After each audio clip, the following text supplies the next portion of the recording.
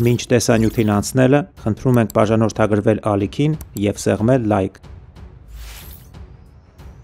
Ազգային առաջընթաց կուսակցության լրատվության ղեկավար Հայկ Գրիգորյանը ֆեյսբուքյան իր էջում գրել է, որ չեն ասում Ծառուկյանը թող գնա բիզնեսով զբաղվի, քաղաքականությունից հեռու մնա։ Ոնց բացատրենք ձեզ, որ Ծառուկյանի համար քաղաքականությունը հենց բիզնեսն է։ Նա հարստացել է ոչ թե բիզնեսի կանոնների հաշվին, այլ թալանով։ Նախկին կոալիցիոն բոլոր ուժերի համար էլ այդպես է եղել։ Քաղաքականությունը դա բիզնես է, թե Սերժի ժամանակ, թե դրանից առաջ Քոչարյանի ժամանակ։ Դաշնակները միշտ էլ բիզնեսով էին զբաղված, ոչ թե քաղաքականությամբ։ Եթե հարկ չես վճարում, թանկ գույքը ջրի գնով առնում ես ու հետո հարյուրապատիկ թանկ վերավաճառում, հեկտարներով պետական ու համայնքային հողը ջրի գնով վարձակալում, քո նախարարները կաշառքը օրական, շաբաթական ու ամսական բերում մուծում են վերադասության կարգով կուսակցությանը։ Հիշեք, թե ՊՀԿ, ՀՅԴ, ՕԵԿ ու հանրապետական քանի մարզպետ նախարար ու պաշտոնյաներ են ունեցել, ովքեր կեղեքել են ժողովրդին, կաշառք կորզել, թալանել բյուջեն,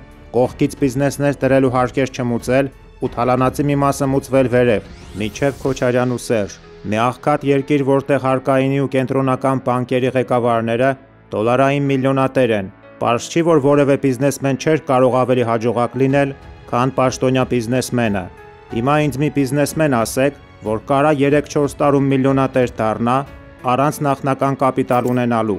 Այլապես դաշնակցությունը, հանրապետականը կամ ՊՀԿ-ն միլիոն դոլարներ չէին ծախսի ընտրությունների վրա։ Երեք պարզ դարձավ, որ միայն մեկ ընտրատեղամասի վրա ՊՀԿ-ն կես միլիոն դոլար է ծախսել,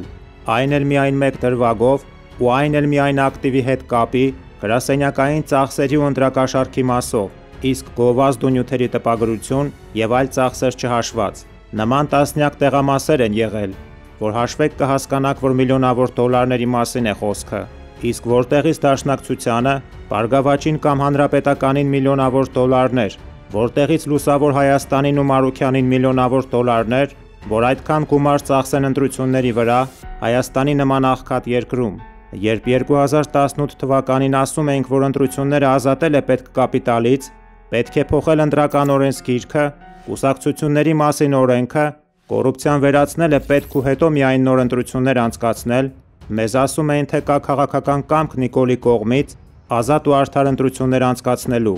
Հիմա տեսակ, որ նույնիսկ Նիկոլի ժամանակ 2018 թվականի ընտրությունները ազատ ու արդար չէին, ուր մնաց դրանից առաջ որևէ ընտրություն լիներ ազատ ու արդար, այդ թվում 2017 թվականին, երբ Նիկոլը մասնակցում էր ընտրության ու ասում, թե ամեն ինչ օրենքով է ու արդար։ Հայաստանում 30 տարի համակարգային կոռուպցիա եւ պետության զավթման համակարգ է գործել։ Եթե սրան չի տրվում իրավական ու քաղաքական գնահատական ու չեն պատժվում մեղավորները, ապա ամեն հաջորդ իշխանություն անելու է նույնը,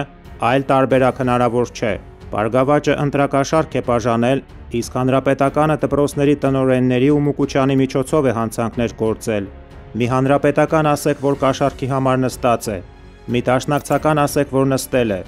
իսկ այսօր հին համակարգի բոլոր շահառուները, Բարգավաճը Հանրապետականը, Դաշնակցությունը ու նրանց նորաստեղծ արբանյակներն ու Վանեցյանները կոալիցիա են ստեղծում ընդդեմ Նիկոլի։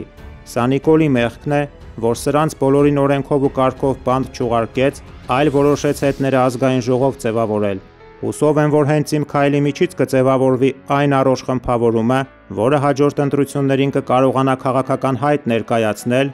այլապես իմ քայլին սպասում է հրաշացման գործընթաց, որը արդեն իսկ սկսվել է։